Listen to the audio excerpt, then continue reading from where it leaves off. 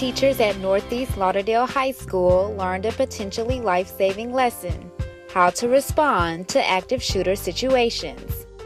Over the last couple decades, mass shootings have been brought to the forefront, and everybody relies on the police more and more. Well, now we're coming to the point where we need the civilians to react. To respond to an active shooter, teachers were taught the acronym ADD, which stands for Avoid, Deny, Defend. If you want to avoid anybody coming in, a shooter, let's just call them shooter. And if you cannot avoid them, we want to deny them access to you.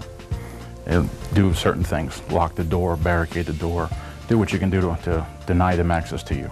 If you cannot deny them access to you, your last stance will be to defend yourself. Windish says that teachers should use items in the classroom for defense. If you can take out that perpetrator's vision, you have an edge up. Take the fire extinguisher, spray them. If you have to hit them with it, hit them with it. There's other things that teachers can have in their offices.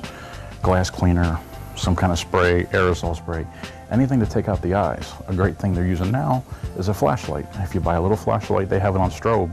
If you put it to the side and stand away from it, then when you walk in the door, they look at the strobe and then you can hit them. Chelsea Johns reporting, Fox 30 News.